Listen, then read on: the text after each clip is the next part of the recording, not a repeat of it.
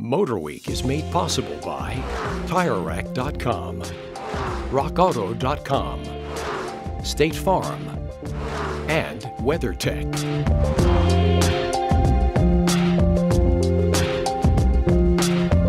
For 2020, the second generation Range Rover Evoque adds a heavy dose of functionality and purpose to its evolving good looks. We caught up with one at the global media launch in Greece for a spirited drive along the rugged Peloponnese coastline. Few SUV lineups are as instantly recognizable as that of Range Rover, and the luxury compact Evoque, with its simple, uncluttered lines and arrow sloped floating roof, is among the most stylish.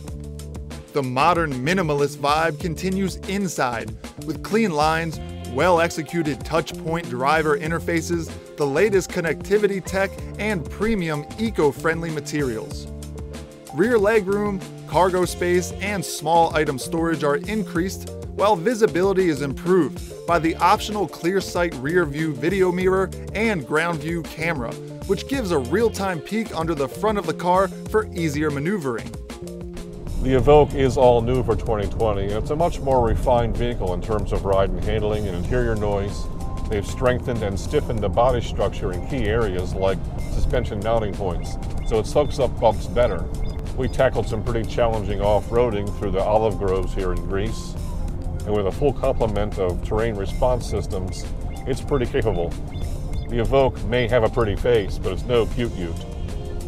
Riding on Land Rover's new premium transverse architecture, Evoque is redesigned and reimagined from the ground up.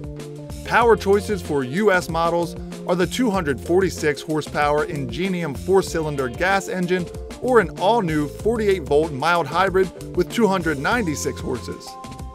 Batteries are packaged under the floor to avoid compromising interior room or functionality.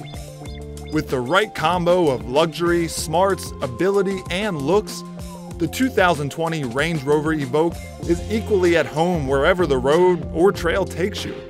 On sale soon, prices start at $42,650. And we'll have all the details, as well as a full road test, coming up soon on Motor Week.